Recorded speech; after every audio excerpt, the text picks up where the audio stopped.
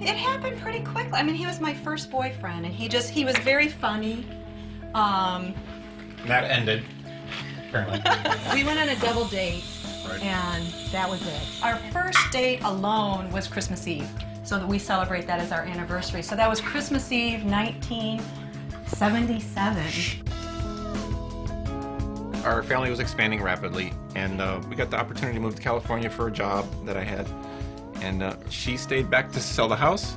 I came here to look for a house. We bought this house, and my car that I had in my 20s was worn out. So we started the research process and looking at everything, you know, and he's kind of a car guy anyway. So he wanted to look at everything involved in the decision. My dad, he's special. Any decision that you're gonna make, he's going to look at all the different options and he will mill over something for days and days and days. We looked at every major mid-sized car. Yeah. And he's always been um, just a huge goofball. He would wake up and get up before us and sing to wake everyone up. He'd come into our room and he'd sing, Time to get up. Time to get up. Time to get up. When he considers all of the options and all the information, he makes good decisions. We had three kids and, you know, little kids.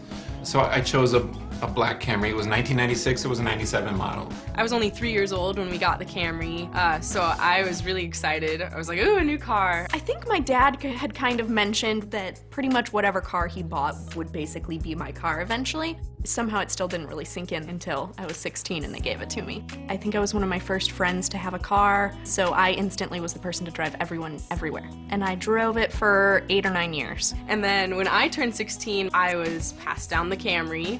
I was like, yes, I get a car, I get, I get the Camry.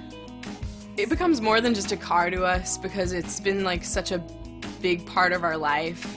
13 years has passed, and we haven't bought a new car in a while. And then we just got a 010 Camry Hybrid. It's just such a perfect, practical car. Since it's pretty new, I don't think I'll be able to get it like for high school, and I might be able to get it for college. You know, Brandon said the other day, well, the Camry Hybrid's going to be mine.